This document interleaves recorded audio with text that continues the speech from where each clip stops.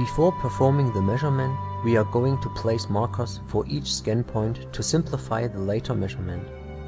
Place the first scan point marker on the right bottom corner of your scan area. As you remember, we selected a resolution of 2 meters, so we have to place our second scan point marker 2 meters behind the first one. You should use a measuring tape to determine the right distance.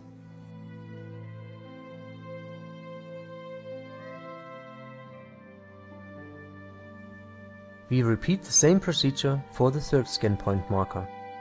So now you reach the final field length of 4 meters, which is what we have entered into the new scan dialog before.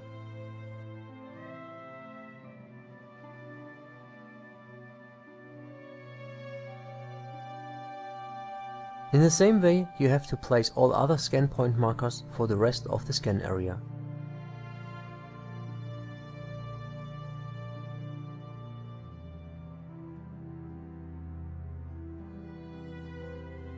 Now all of the scan point markers have a distance of 2 meters to its direct neighbors. After preparing the scan area with scan point markers, you can now start the measurement by tapping on the Start Measurement button. The main measurement screen will appear. It offers all important information about the scan process. Let's have a closer look at the controls. Here on the left top corner you see the status of the wireless connection to the controller and the power box.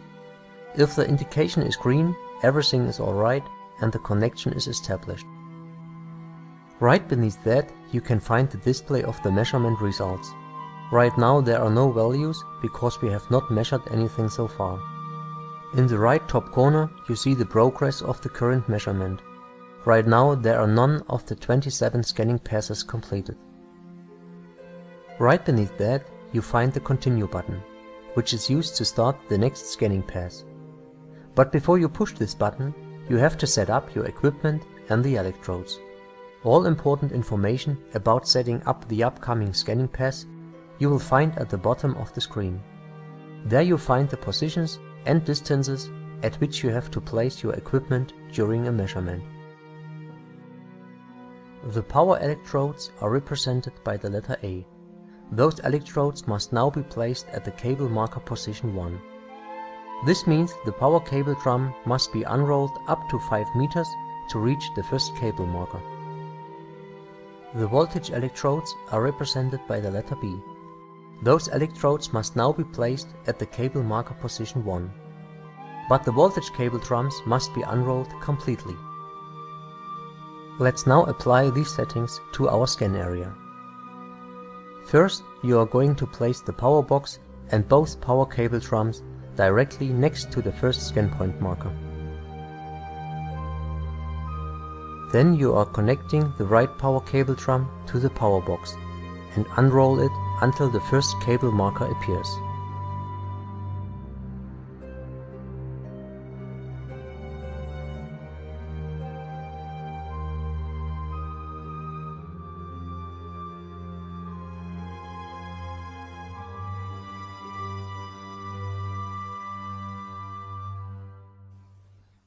Take one power electrode and put it directly next to the cable marker into the ground.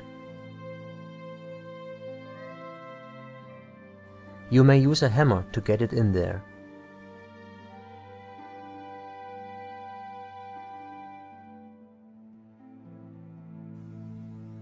Finally, you need to connect the electrode to the cable drum by using one of the short extension cables. Now you have the following situation.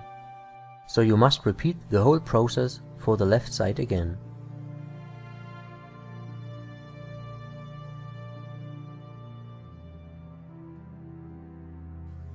Unroll the power cable drum to the first cable marker, put the electrode into the ground, and connect the electrode to the power cable drum by using the second extension cable.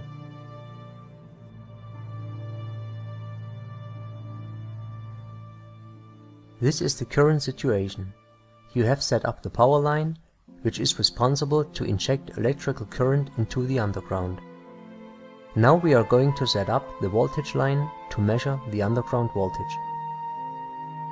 Therefore you have to place the controller in front of the power box.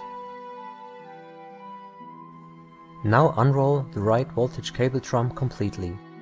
This is necessary because the cable marker number 1 is on the inner end of the cable.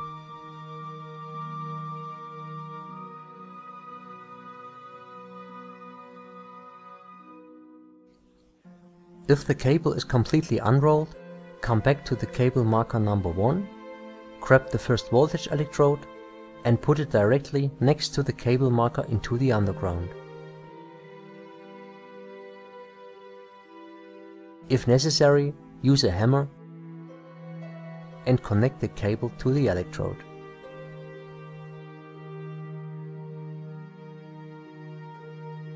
So now the current situation looks like this, and you have to repeat the whole process with the other side. Again, unroll the complete voltage cable drum and come back to the cable marker number 1.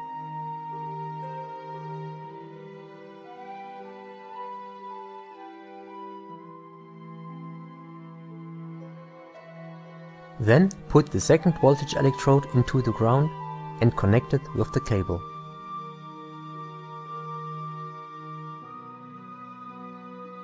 Now we have a situation like this.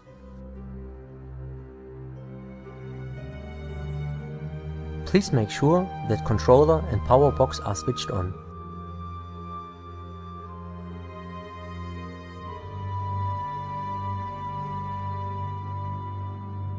Pop up the antennas for a better connectivity and get ready to start the first scan pass.